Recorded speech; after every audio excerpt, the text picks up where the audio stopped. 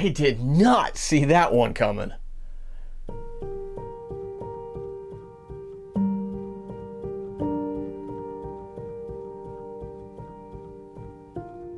Thank you again for joining us. We're continuing our verse by verse study, our daily devotion in the Word of God. I want to encourage you get into the Word of God every single day. I also want to encourage you share this with someone else today. The Word of God is so important.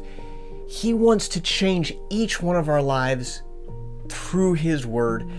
And honestly, if, if the Word of God is just sitting up on a shelf, it's not going to change your life.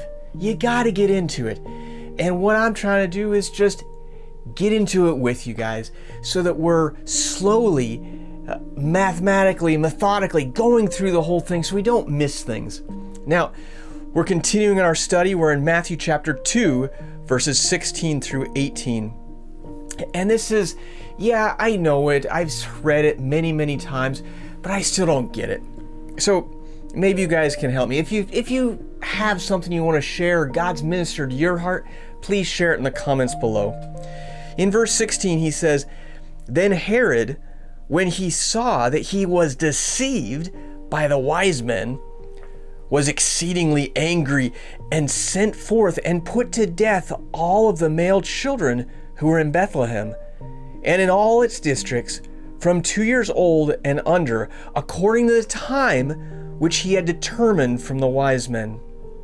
So, the Bible, there's many different things it records and different levels we need to understand it on. And some of it is more like historical record. This is what has happened. And we can trust the Bible. It is real. There's there's things in the Bible that people have said this never happened because we don't have any historical record of it.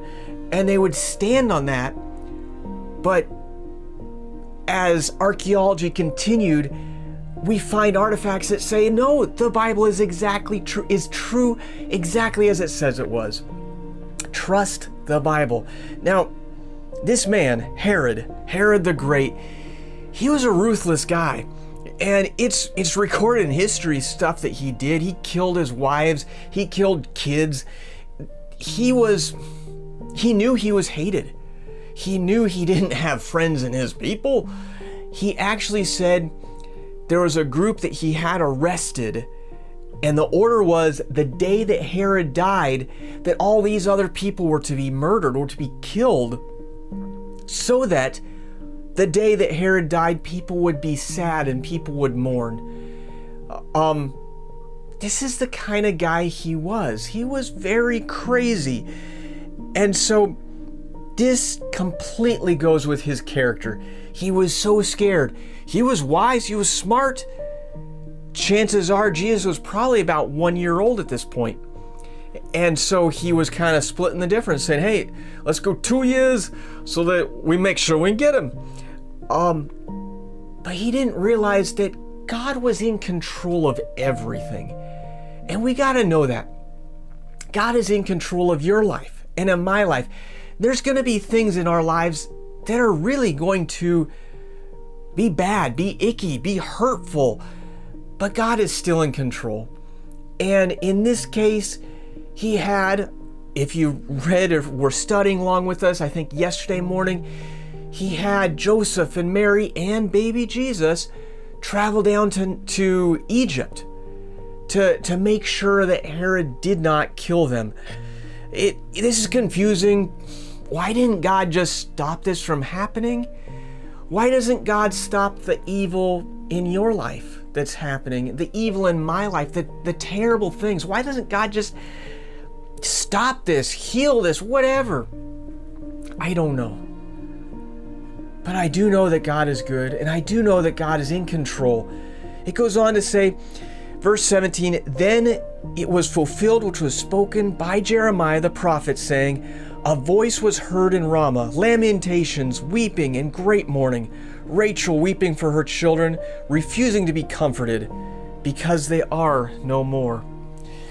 God's word is going to happen, it's going to come to pass. There's stuff that it tells us in the future. The, the great tribulation time is going to be a terrible time. It will happen, just as the Bible said, though. We need to trust. We need to warn people. The end is coming. Jesus is going to return. We want to be with him. We don't want to be against him. So I want to encourage you, encourage people around you to get on Jesus' plan, to get on his side, to get on the winning team. I sure love you guys.